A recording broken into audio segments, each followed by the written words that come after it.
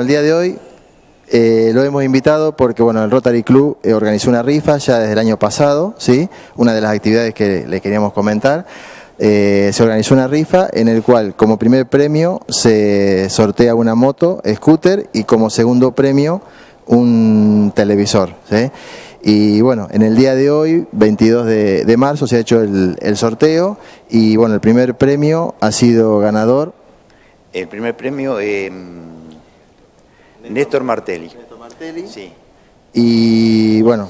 Es la moto. Y el segundo premio es José Manzanares, que es un televisor, bueno, de 40 pulgadas.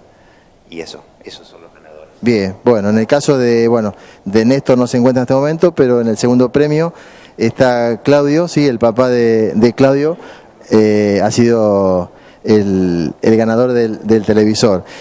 Eh, agradecemos a toda la gente que ha colaborado comprando la, rifa porque bueno nos sirve para poder eh, apoyar el banco ortopédico, para poder apoyar el plan de becas, que ahora quería comentar también, que se han hecho ya eh, compras de útiles para plan de beca y bueno y actividades que se van haciendo durante el, durante el año.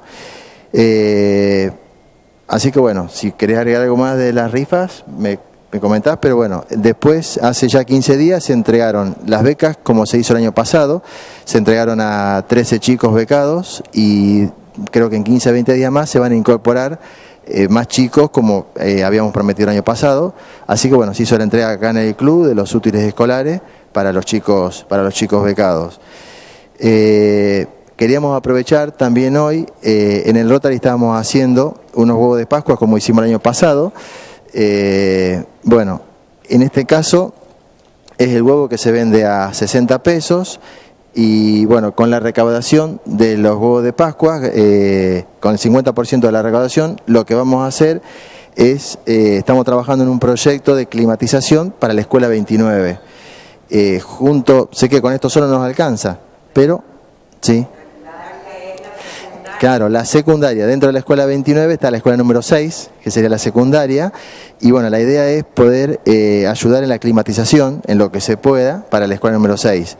Así que bueno, lo que se recaude de acá eh, se va a utilizar para la climatización de la, de la escuela.